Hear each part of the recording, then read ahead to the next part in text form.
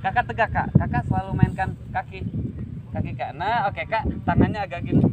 Iya lihat saya kak. Oke cukup. Tahan bang. Lihat saya.